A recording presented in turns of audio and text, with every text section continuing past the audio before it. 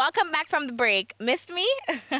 well, I'm your guest host, Milan, and you're here with me this week, and I hope you're having a blast. Anyways, coming up next, we have a video premiere from Tarrus Riley. Sorry is a sorry word, and this one was directed by Donisha Prendergast. Come with your sweet talk. You call me a sweetheart. And every day you break another piece of my heart. Ooh, I'm sorry you're sorry, but sorry's not good enough for me, baby. I'm sorry that you're sorry, but sorry can't dry my tears, lady. Each time we fight, you come with your same story. Now you're sorry, but I'm sorry cause I can't accept your apology. You say it, you say it,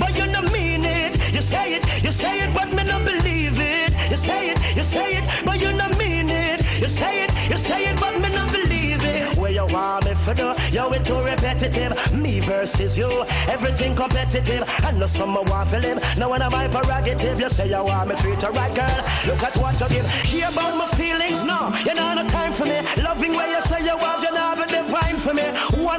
Here's this week's Petcom Fuel saving tip of the week. Listen up and hear how you can save on gas prices. I know I'll be listening. This fuel saving tip is brought to you by Petcom, rising to your expectations. Aggressive driving, speeding, rapid acceleration, and braking wastes gas. It can lower your gas mileage by 33% at highway speeds and by 5% around town. Sensible driving is also safer for you and others, so you may save more than just on gas expenses. This fuel saving tip was brought to you by Petcom, rising to your expectations. I'll be representing Jamaica this year at the Miss Humanity International Beauty Pageant held in Barbados. And speaking of the Caribbean, we have Caribbean Buzz coming up for you. Stay tuned. Inside the Caribbean Buzz, Guyanese born singer Trevin Hunt totally impressed the judges on the new season of NBC singing competition The Voice with his rendition of Beyonce's Listen. The 18 year old, who now resides in New York, USA, says he was bullied as a child and even discouraged to pursue a singing career. Now, American rapper Rick Ross has visited three Caribbean nations over the past four months. First, he touched down in Jamaica for a concert in June, and then he performed performed in Guyana. He was recently in Anguilla where he shot the video for the track called Diced Pineapples featuring Wale and Drake and is on his latest album God Forgives I Don't. The video was directed by Trinidadian born director Lil X. Now Antigua's Queen of Carnival Renee LaRome is still basking in her recent win.